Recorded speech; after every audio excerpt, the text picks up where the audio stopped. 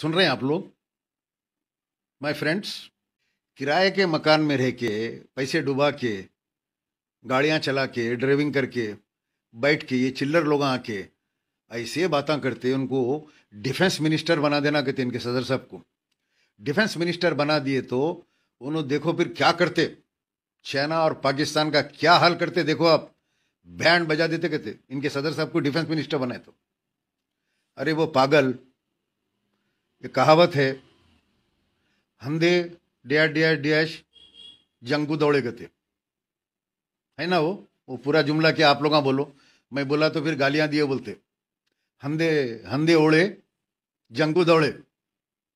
इनके सदर साहब को डिफेंस मिनिस्टर बनाना बोल रहा भाई, आके। डिफेंस मिनिस्टर बनाते चाइना के बॉर्डर पे जितनी ज़मीन है, पूरों की प्लाटिंग ये लोग जाके शुरू हो जाते।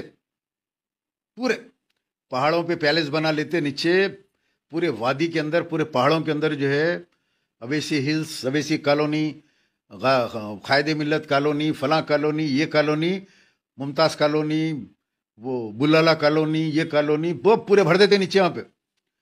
छैना के बॉर्डर के ऊपर जो है, पूरों को लेके जाके बसा देते। फिर बारिश आई, पहाड़ों में से पानी निकला तो पूरे घर बह जाते। Plotting. Minister for plotting. Defence minister ने प्लाटिंग मिनिस्टर बनाना रहे उनको। अब इसका क्या दिमाग होगा? बोलो, नहीं, कितने लेवल का है? बोलो अब वो, जोसफ। बोलो अब। शेख हमजद अखिल सही बोले आप करेक्ट। जंग को दौड़ रहे चाइना का, वहाँ पे चाइना को मारते कहते, पाकिस्तान को मारते। इनके सदर साहब को डिफेंस मिनिस्टर बना देना कहते। अरे हैदराबाद में कहीं ज़मीन नहीं बची यार हाल ये है, एक संतोष नगर से मेरे को फ़ोन आया।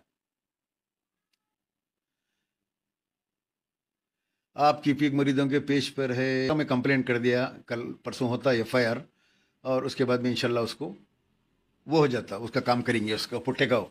तालाब कट्टे में क्या रहता कहते उन्हें?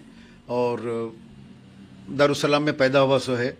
कुछ कारपोरेटरों की मेहरबानी है बल्कि सुना उन्हें सदर साहब का हाथ नहीं उसकी पैदाइश में। कुछ कारपोरेटर्स शख्सी दिलचस्पी लेने से उन्हें पैदा हुआ।